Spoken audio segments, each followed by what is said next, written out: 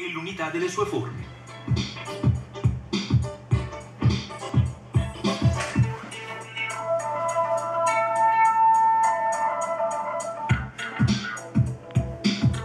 Mi chiamo Kimberly Choma e vengo dal Canada. Sono qui per lavorare con Bikini Destination a Saint-Tropez.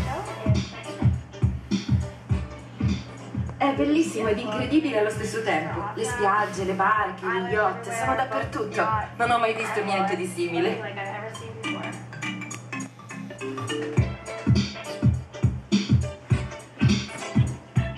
Girare in Francia è stata un'esperienza magnifica, molto eccitante. Qui tutto sembra calmo, quasi soffuso. Un'atmosfera molto sofisticata, direi.